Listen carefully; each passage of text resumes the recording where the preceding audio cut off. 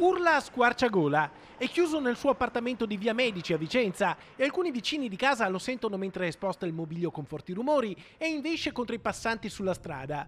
Viene chiamato il 113. Gli agenti della questura arrivano sul posto e sentono anche loro dalla strada le urla dell'uomo, per cui decidono di intervenire immediatamente. Bussano alla porta e di fronte a loro si presenta un signore ben distinto che, malgrado sia chiaramente in preda ai fumi dell'alcol, fornisce ogni informazione, sinché di fronte alla raccomandazione di non disturbare il vicinato si altera e inizia a inveire in maniera smodata.